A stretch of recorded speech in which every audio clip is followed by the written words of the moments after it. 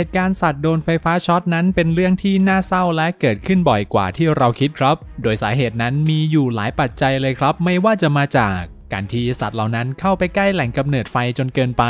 หรือพวกมันเหล่านี้เดินผ่านสายไฟที่ชำรุด โดยที่เนื้อหาในวันนี้ ช่องมาดูจะพาทุกคนไปพบกับ 30 เหตุการณ์ที่น่าตกใจ เมื่อสัตว์เหล่านี้โดนไฟดูด และก่อนที่จะไปชมคลิป ช่องมาดูมีโปรโมชั่นดีๆ มาแนะนำ กับ YouTube Premium เพียงเดือนละ 59 บาท ทุกโปรสามารถใช้เมลตัวเองได้ พร้อมด้วยทีมงานแอดมินที่ตอบเร็วยังกับจรวด หรือจะเป็น Netflix ทางร้านก็มีบริการนะครับ เริ่มต้นเพียงแค่ 79 บาทเท่านั้น สนใจสมัครแอดไลน์หรือสแกน QR Code ที่ขึ้นบนหน้าจอได้เลยครับ สุนัขจิ้งจอก ถึงแม้ว่าสัตว์เหล่านี้พวกมันจะขึ้นชื่อเรื่องความฉลาด และมีความสามารถในการแก้ไขปัญหาและหลบหลีกอันตรายได้เป็นอย่างดี แต่ในบางสถานการณ์ ถือว่าพวกมันยังดวงซวยอยู่ครับดูเหมือนว่าสุนัขจิ้งจอกตัวนี้กำลังหาอาหารรอบๆรั้วไฟฟ้า และเมื่อมันเข้าไปใกล้จุดอันตราย ก็ทำให้มันนั้นถึงกับต้องวิ่งหนีอย่างรวดเร็ว และอีกคลิปก็เป็นเหตุการณ์คล้ายๆกันครับ ชักกระตุกวิ่งหนีหลงทางแบบไม่ต้องสืบกันเลย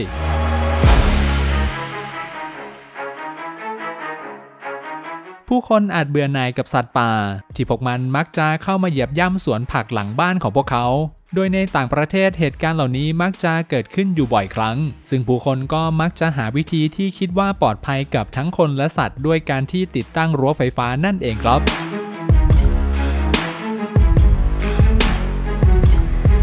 เจ้ายักษ์นี่โดนเข้าไปเต็มๆ เหตุการณ์ในคลิปวิดีโอนี้ได้สร้างความน่าตกใจให้กับผู้คนไม่มากก็น้อยครับ เมื่อมีชิมแปนซีจอมห้าวตัวหนึ่งได้ปีนป่ายสายไฟ แต่ในที่สุดมันก็โดนไฟดูดและร่วงหล่นลงสู่พื้นดินแบบไม่รู้ตัว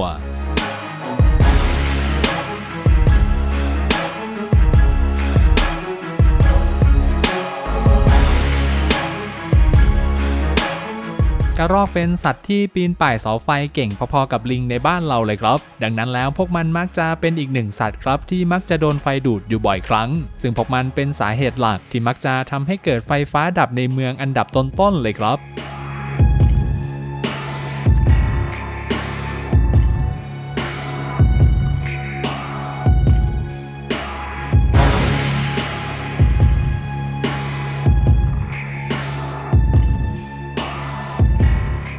ณะกำลังขับรถจู่ๆก็มีวัตถุบางอย่างร่วงหล่นลงมา และเมื่อเพ่งดูดีๆ เนี่ยสิ่งนั้นก็น่าจะเป็นห่านครับไม่ก็นกอะไรสักอย่างนี่แหละ ที่มันนั้นได้ล่วงหล่นลงมาหลังจากที่มีแสงไฟกระพริบและอีกหนึ่งเหตุการณ์ที่ถ่ายไว้ได้เจ้านกตัวนี้น่าจะโชคร้ายไปหน่อยครับที่ไปอยู่ผิดที่ผิดทาง แอดบอกเลยครับแทบวูบ และคนที่ถ่ายคลิปนั้นก็ลุ้นพอๆกับเราแหละครับ ว่าเจ้านกตัวนี้มันจะรอดไหม แต่พระพุทธพระธรรมพระสงฆ์มันกลับฟื้นและบินหนีไปอย่างรวดเร็วครับ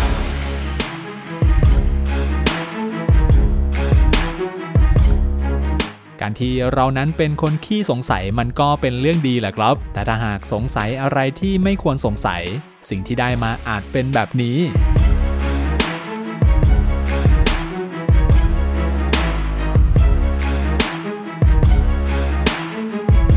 จ้าตัวเล็กนี้มันน่าจะตกใจสุดชีวิตเหมือนกันครับ ที่จู่ๆร่างกายของตัวเองก็ชักกระตุกขึ้นมา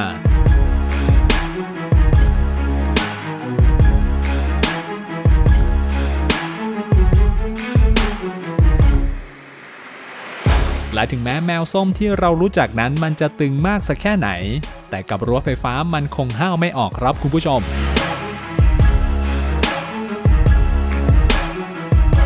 และเหตุการณ์นี้เป็นอะไรที่แอดดูครั้งแรกแล้วลุ้นมากๆครับ เพราะโอกาสรอดของเจ้าเหมียวนั้นถือว่าน้อยสุดๆ ไปเลยครับซึ่งหลังจากที่น้องโดนช็อตไปแล้ว หากมีหางหรือว่าอวัยวะส่วนใดไปสัมผัสบริเวณดังกล่าวอีก เจ้าเหมียวตัวนี้คงได้กลับดาวแมวแน่ๆครับ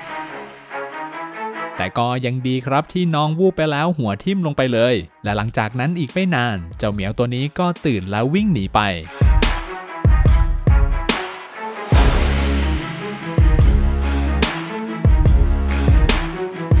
ฝูงนกที่อยู่บนท้องฟ้าในคลิปนี้ เมื่อมองดูแล้วยังกับหนังวันสิ้นโลกยังไงอย่างนั้นเลยครับ และโดยปกติแล้วนกเหล่านี้เมื่อตกเย็น พวกมันมักจะมาเกาะอยู่ตามสายไฟใกล้กับที่ที่มันอยู่ และแน่นอนครับต้องมีสักตัวที่แลนดิ้งผิด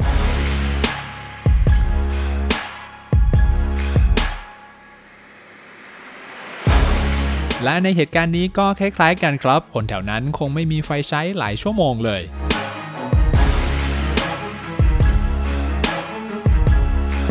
แรคคูนเป็นสัตว์ที่มีสมองค่อนข้างใหญ่ครับเมื่อเทียบกับขนาดตัวทำให้สัตว์เหล่านี้สามารถที่จะเรียนรู้พฤติกรรมใหม่ๆ ได้อย่างรวดเร็ว โดยสิ่งที่ขึ้นชื่อนอกเหนือจากความฉลาดของพวกมันแล้ว พวกมันยังเป็นสุดยอดจอมโจรที่มักจะขโมยอาหารน้องหมาน้องแมวอยู่เรื่อยๆเลยครับ และมนุษย์ก็หาวิธีจัดการมันจนได้ด้วยเครื่องช็อตแรงต่ำ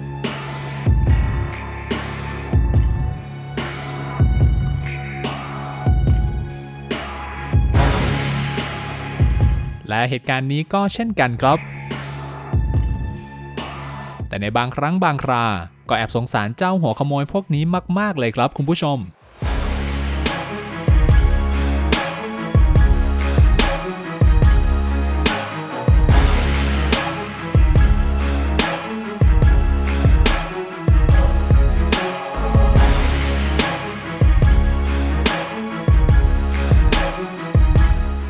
กับไฟนั้นเป็นอะไรที่อันตรายมากๆ ซึ่งมนุษย์นั้นรู้ดีครับว่ามันอันตรายมากสักแค่ไหน แต่ทว่าสัตว์เหล่านี้พวกเขานั้นไม่รู้ด้วยสิครับ มีวัวโชคร้ายตัวหนึ่งโดนดูดจากเสาไฟที่รั่วลงไปในน้ำและเพียงเวลาแค่ไม่นาน สัตว์ใหญ่ตัวนี้ก็ล้มลงพร้อมกับอาการที่ไม่สู้ดีนักแต่เดชาบุญครับคุณผู้ชมมีมนุษย์สุดประเสริฐ 3 คน ที่พยายามช่วยมันจนพ้นขีดอันตรายไปในที่สุด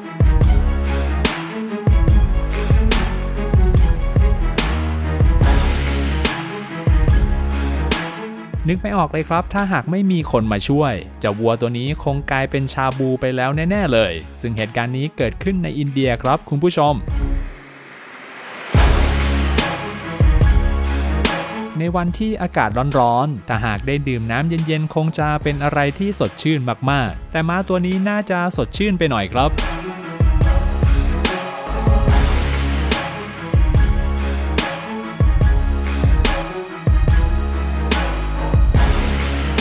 เหตุการณ์ดังกล่าวนั้น งูเจ้ากรรมมันพยายามอย่างมากครับ ที่จะเลื้อยขึ้นไปด้านบน แต่ทุกครั้งทุกคราที่มันขึ้นไป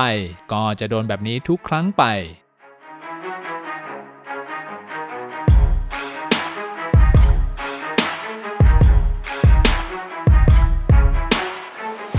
คนเรานั้นจะห้าวกับอะไรก็ได้ครับ แต่อย่าห้าวกับปลาไหลไฟฟ้าจะดีที่สุดครับคุณผู้ชม หากไม่อย่างนั้นจุดจบอาจไม่สวยแบบเจ้าโบ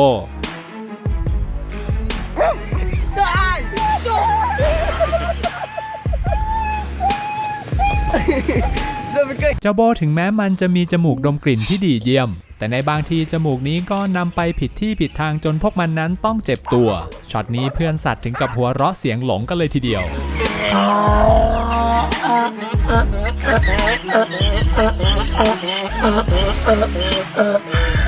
เรื่องไฟฟ้านั้นอย่าว่าแต่สัตว์โลกเลยครับคุณผู้ชม มนุษย์อย่างเรานั้นก็วูบได้เหมือนกัน มีชายคนหนึ่งครับกำลังทดลองจับรั้วไฟฟ้า ในครั้งแรกที่ชายคนนี้ไม่โดนช็อตเหตุเพราะเขานั้นสวมรองเท้า This one? และเมื่อเขานั้นอยากลองกับระบบบอกเลยครับแทบร่วง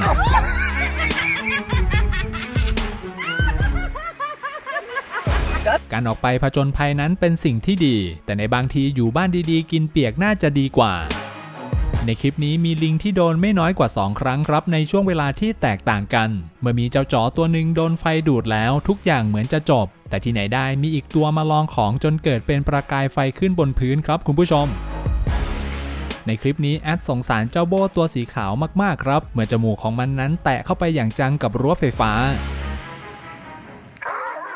ร้องเสียงหลงกลับบ้านกันแทบไม่ถูกเลยทีเดียว แต่ในบางทีตัวป่วนเหล่านี้ก็ต้องโดนซะบ้าง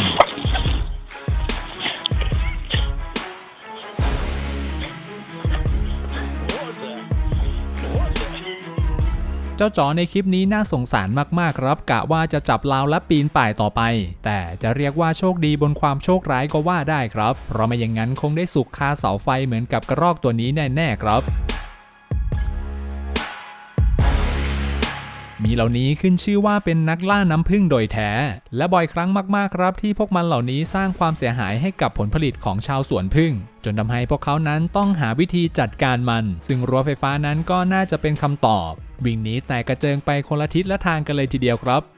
และนี่คือทั้งหมดของวันนี้ครับคุณผู้ชม หากชอบก็อย่าลืมกดไลค์กดซับให้กันด้วยนะครับ แล้วเจอกันใหม่ใน EP หน้าสำหรับวันนี้ สวัสดีครับ